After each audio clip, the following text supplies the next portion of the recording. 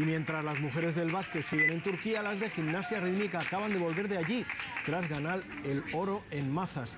El quitento español compuesto por Alejandra Quereda, Sandra Aguilar, Elena López, Lourdes Moedano y Artemi Gabeotu es extremadamente joven.